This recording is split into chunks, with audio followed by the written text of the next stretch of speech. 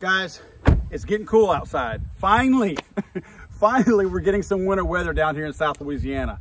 But when we get cool down here, we don't acclimate to those colder temperatures like some of you guys on the east, west coast, and of course up north do. We need things that keep us warm. It might be 50 degrees outside. We need a jacket. One of the biggest challenges in having a jacket is also carrying your pistol on your side. I have found the perfect jacket, the Viktos Gunfighter Flannel Jacket. This thing is perfect for concealed carry and it'll keep you warm. Guys, many times when I come out to the range, whenever it's cool, I'm always looking for a jacket that's going to allow me to, of course, stay warm, but also access all of the things that I want to do when I'm trying to exercise those fundamentals. I want to be able to access my firearm on my side. I don't want to have to, you know, roll up layers of clothing in order to do that. But I also want to have range of motion. I want to have some functionality. I don't want a jacket that's going to bind me up because it's just not, it's not giving in the places that it needs to be. I also want a jacket that's gonna be tough, not one that's gonna tear up on me, not one that's gonna snag whenever it catches something. This jacket right here by Viktos is an awesome jacket. It's got the best of all the worlds. It's got in the shoulders, it's got some breathable, flexible material there that's gonna allow you to pull your, uh, your, your hands together and actually practice your fundamentals and your range of motion however you need to without binding up. It's got some stretch across those shoulders there. And, and again, it's gonna give you that range of motion that you need without you feeling like you're being restricted. It's gonna allow you to train properly. It's also got these little protectors that you see on the elbows here. Um, that's a couple things. It's gonna protect the elbows, but also it's giving you a little bit more protection up here in case you're going through, I don't know, brush or anything like that in the event that you're you know, in an oddball situation out in the wilderness or whatever. You know, you got a little bit more protection over here on top of that 60-40 uh, wool and polyester blend that you already have on here, which again, that's lending itself to some big time warmth. If you're one of the guys that uses the little thumb hole things here to hold your sleeves down, you got those too. I typically don't use those. It's nice to have I'm in a really, really cold environment. But if I'm that cold, I'm probably gonna have a set of gloves on anyway. So the thumb thing is nice to have. I just don't access them very much. Um, it's got pockets in it. It's got zipper pockets. You're gonna be able to put things inside of it uh, that you might need to, one on each side. I really like that. Of course, you have your front pockets here. You have your side pockets down below. One thing that I found was pretty cool is you also, you'll notice you have zippers right here on the side. You have some upper pockets, some higher pockets right here. These pockets are pretty cool for a couple of reasons. The main reason, if you happen to be running a plate carrier, it's my LBX plate carrier right here. If you happen to be running one, you're gonna be able to access everything on your plate carrier, but you can still put your hands in your pockets, whether you need to get something or you're just keeping your hands warm. So it's kind of cool that you actually, they thought enough to put these upper pockets up here. Again, additional storage, but also a different, uh, additional, um, I guess, usability in the event that you're wearing a plate carrier or some kind of a chest rig. Um, one of the coolest things about it, and not one of, the coolest thing about it, is what I talked about earlier, accessing your weapon. You know, when you're all buttoned up here, zipped up, whatever, depending on the type of jacket that you're wearing, one of the hardest things to do, especially if you've got this thing kind of tightened up to where you're keeping all the wind from being able to get into it, it's usually going to be relatively tight around your waist. You're usually having to pull up and really try to get to that weapon. You know, it's a little bit tougher to get to it. This thing has what Viktos calls a gun vent. You'll notice it's got zippers on both sides. These things pull apart that easily.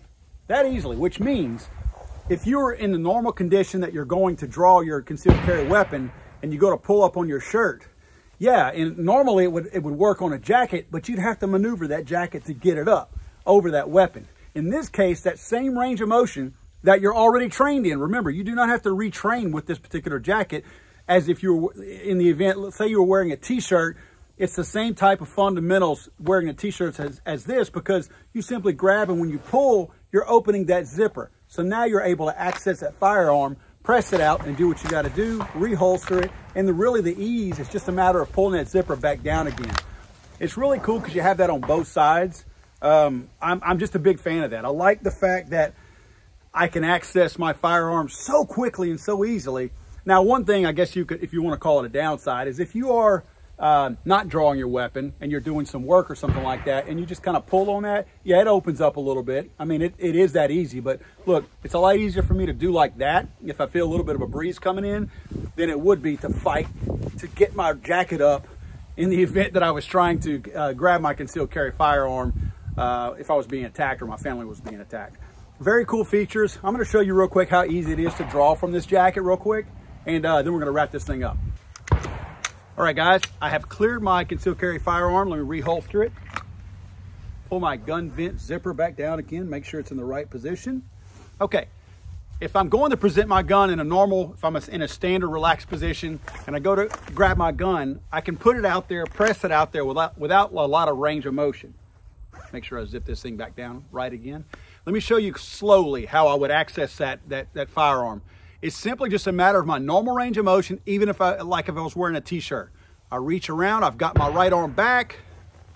I go to pull it up. When I'm pulling it up, it's unzipping and I press my firearm out there. Reholstering it is just as simple. It's a matter of raising that up, accessing my holster. Never have to put my eyes on my holster, although I am a fan of putting my eyes on my holster. I feel like once you've neutralized any kind of a threat, it's now safe to put your eyes on your holster, but you don't have to because you don't have a jacket that you're having to fumble to get out of the way to access that holster again. The mouth of that holster is going to be very obvious to you because it's in its normal position and you don't have any kind of fabric or jacket in its way. Again, very quick access for your concealed carry firearm and it's just a matter of covering that thing back up again and you're perfectly concealed again. Well guys, it's warmed up out here in Lake Charles, Louisiana, so off comes the tactical gunfighter jacket flannel jacket by Viktos. Let me just give you the official name on it. It's the Gunfighter Tactical Flannel Jacket. This is a sweet jacket. I really like it. The 60% wool in this thing, eh, this thing's gonna keep you warm. The polyester is in there to give you that stretch and a little bit of durability. So you're gonna have a great blend of fabrics here and the best of each fabric as far as the uh, the amount that you need of each one of them. I know that sounds like I'm splitting hairs. I'm not exactly a guy that builds garments, but I understand what the, the, the need for each one of them is. Very cool jacket. It also is lined. I did not mention that earlier. Uh, again, that's going to lend itself to keeping you even warmer. I've worn this thing in a very, very light rain, and it does repel the rain a little bit. I mean, obviously, a pouring, driving rain is going to get this thing soaked. One thing I wanted to mention that I tend to learn to do of course, you have some breathable vents up here right up under your arms as well. I did not mention that as well. One thing that's cool is I'm a big fan of Viktos's uh, tactical gloves. I use them for work. I use them for out here at the range. Um, I use them to keep my hands warm during the winter. So since I'm usually not wearing a plate carrier, I do keep one in my vehicle for the uh, SHTF situations. Uh, but I'm not a normal user of one. I will use a uh, chest rig out here at the range every now and then. But my point is I don't typically access or have the need to access these top pockets on here because I'm not always wearing that plate carrier. What I utilize these top pockets for, because remember, I do have a lower set of pockets down here already. I typically keep them zipped up and I keep my Viktos gloves in there. One glove on each side, of course, for left and right hand. And I just leave them in there. They don't take up much room. Um, if nothing else, it adds to the warmth because it's a little bit more material in there and they just stay out of the way and they don't bulge out because the way these pockets are built, they have this additional pocket in front of it so it looks natural. So I really like that. They have it in this particular blue color, uh, the jacket, and they also have kind of an army green looking jacket, which I do intend to get that one as well. Uh, I like this jacket a lot, guys. This I'm a big fan of this. Viktos is a big time supporter and sponsor of mine.